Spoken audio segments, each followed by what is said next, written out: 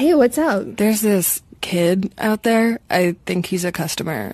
Something's wrong with him, though. He's really freaking me out. Uh, don't worry. I'm I'm great with kids. Um Hello, Mrs. Cloud.